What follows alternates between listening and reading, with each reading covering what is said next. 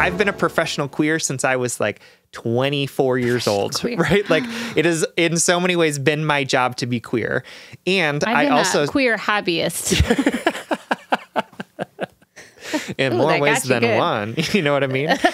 uh, yeah, no, and it's and it is still something that I I am struggling with. My own identity still continues to unfold before Yeah. me, and there are still like those moments where you're like, I.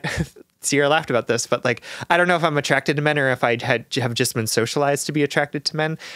I resonated with that. I am attracted to men, unfortunately, but like the there were so many different aspects of it where I was like, yeah, there's so much about my understanding of my identity where I am literally like, yes. am I that? Or did someone just tell me I was that and I didn't know anything else? And so like, oh my god, do I like the guy from Bridgerton because he's like domineering uh, and I've been taught that like I'm submissive my whole life, like that I want somebody to tell me what to do cuz sure. and and like oh my god. No, No. idea. Am I am I a product of my cultural conditioning or is this a real little boner that I have?